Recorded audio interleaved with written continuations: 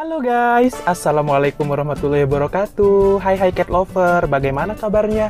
Mudah-mudahan baik-baik saja. Dan tentunya anak bulu di rumah juga baik-baik ya. Oh ya, di video kali ini Aku mau ngajakin kalian semua para cat lover Aku mau belanja bahan-bahan untuk bikin makanan basah buat si anak bulu di rumah jadi aku nih sekarang baru pulang kerja. Ini aku masih pakai baju batik, baju kerja. Dan ini juga masih ada di parkiran. Baru keluar dari kantor.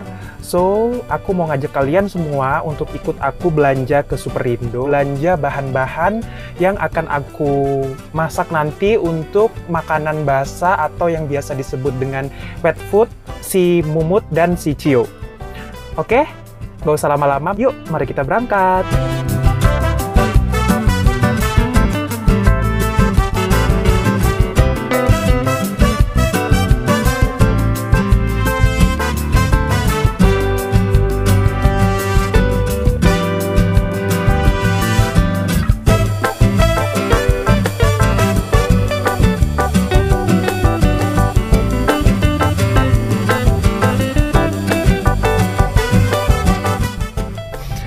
Ya, kena macet deh, salah ambil jalur.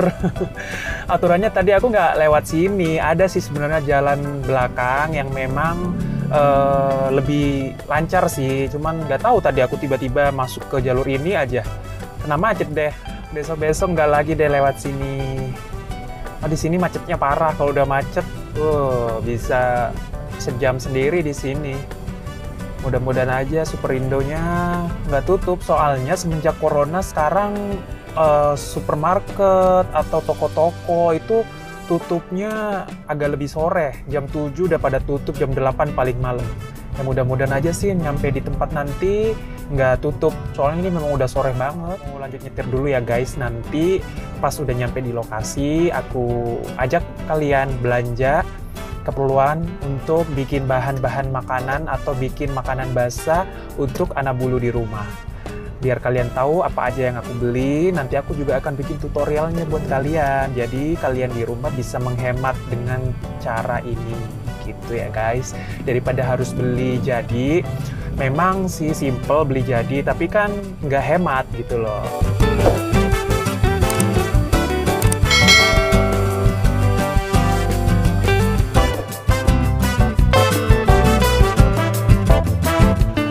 Hai guys, ini aku sekarang sudah ada di Superindo, udah nyampe Superindo dan langsung mau menuju ke tempat ikan segar. Karena yang aku pilih adalah ikan segar sama apa lagi yang aku cari ya tempe. Ya tempe, ikan segar sama tempe. Jadi ikan segar sama tempe adalah bahan yang aku butuhkan untuk buat uh, wet food atau makanan basah khusus untuk kucing. Itu bikin badan kucing jadi gemuk loh guys. Serius. Ya udah aku mau ke tempat ikan dulu ya.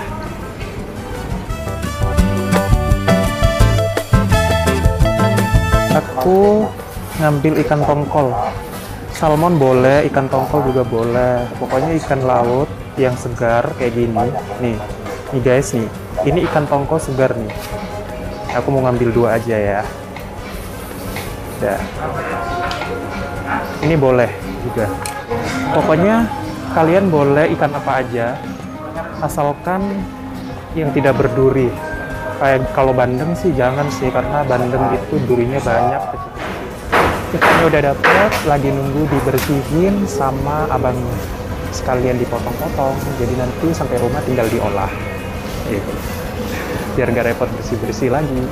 Tinggal dicuci doang langsung diolah deh Nah, ini dia tempatnya tempe-tempe, guys.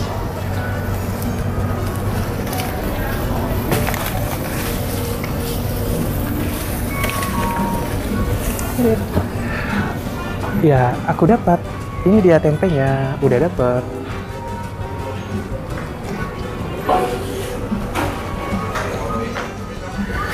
Udah dapat semua, guys, yang aku cari, guys. Tempe sama ikan eh yuk waktunya kita bayar ke kasir terus pulang deh ke rumah nanti aku kasih tahu ke kalian tutorialnya bikin makanan basah untuk kucing oke okay? aku mau bayar dulu ya guys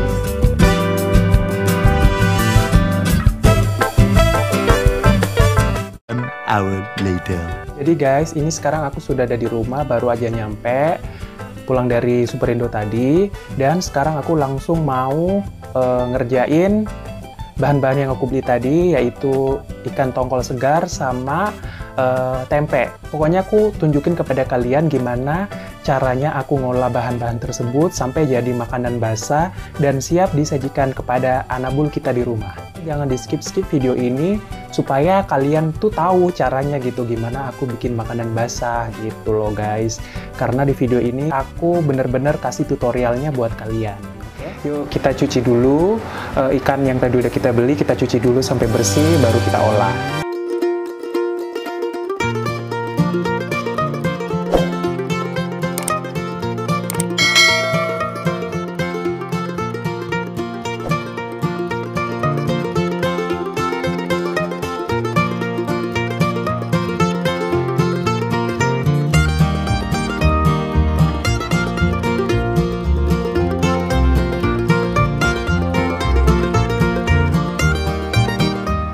Kemudian kita potong-potong dulu tempenya.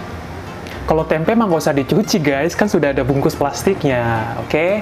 Jadi langsung dipotong-potong ya tempenya ya.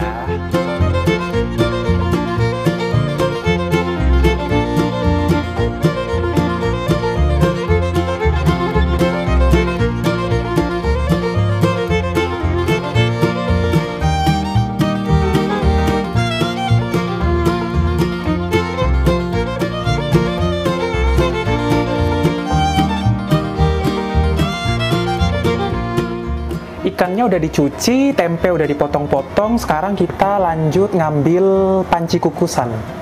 Oh iya, aku belum ngejelasin ya. Jadi cara ngolahnya itu ikan yang udah dibersihkan tadi, yang udah dipotong-potong, udah dicuci bersih, sama tempe yang udah dipotong-potong, itu dikukus jadi satu. Aku sekarang mau nyiapin panci kukusan dulu ya guys.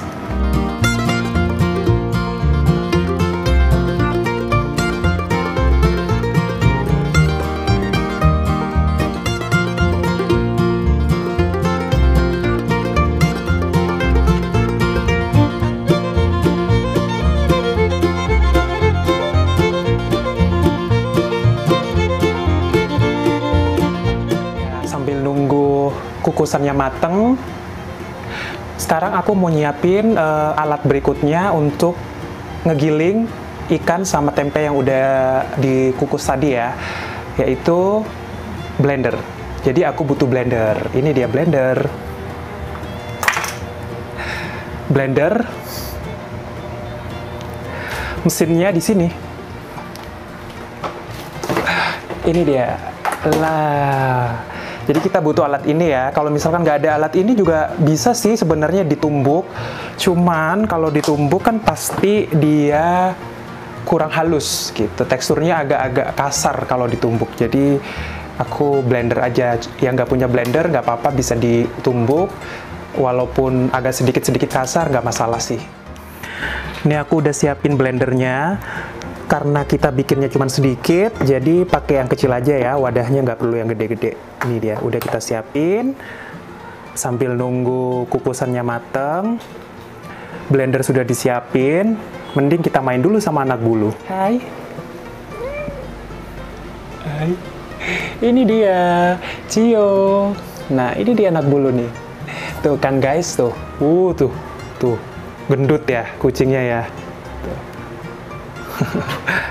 yang mumut ini. Hai mumut.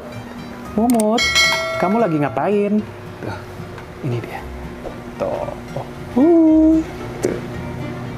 Ini mumut. Tuh, ini juga tuh. Uh, tuh, gemuk kan? Gembul. Pokoknya kucingku dua-duanya tuh gembul-gembul, guys. Kalau kita telaten, ngerawat, kita uh, sayangin tuh binatang, insya Allah nanti binatang itu juga akan seneng gitu. Kalau binatang udah seneng, berarti uh, apa? Badannya itu nanti bisa gemuk gitu.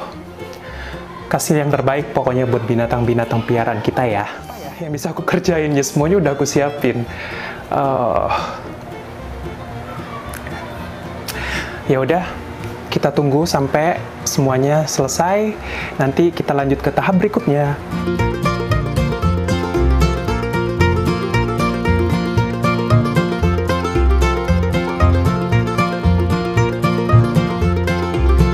Ini udah mateng nih guys. Udah kita matikan dulu kompornya. Ini udah mateng. Kita pindahin ke gelas blender. Ya.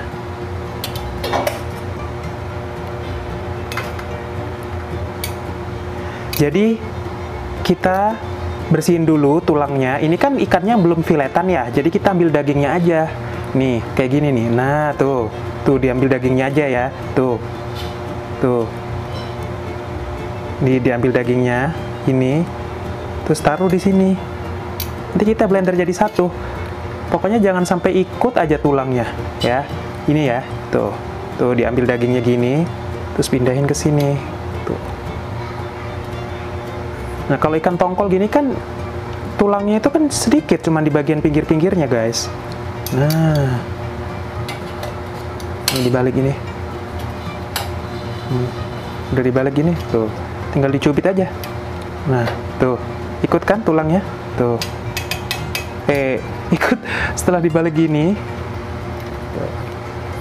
Pokoknya kayak gini ya. Tuh, bener-bener diambil dagingnya doang. Nih ya, diambil dagingnya doang. Jangan sampai ikut tulangnya lo ya. Nih. Walaupun dia di blender, pokoknya jangan sampai ikut aja tulangnya. Tuh kalau mau ditambahin kuning telur juga boleh, cuman aku nggak nggak pakai kuning telur. Ini langsung aku blender kayak gini. Kasih air dikit, kasih air dikit karena apa? Supaya dia bisa muter. Kalau di blender kan biasanya lengket gitu, jadi harus ditambahin air dikit supaya dia bisa muter gitu loh.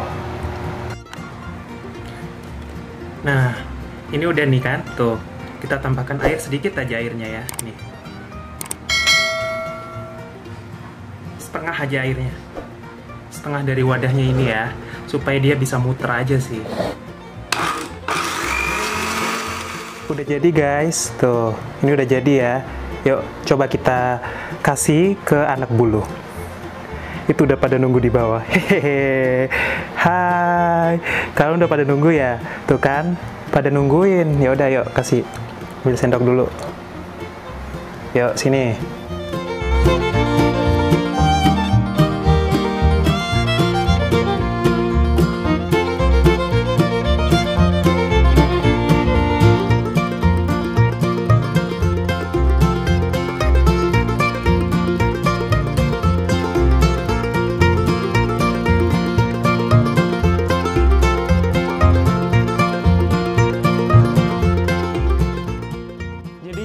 ya guys cara bikinnya.